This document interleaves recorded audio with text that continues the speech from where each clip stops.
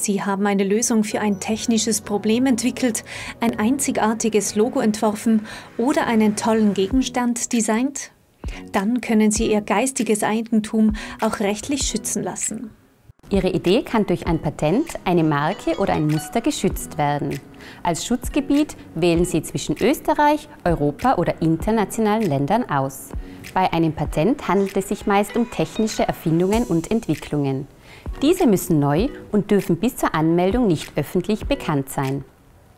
Marken können auf viele Arten geschützt werden.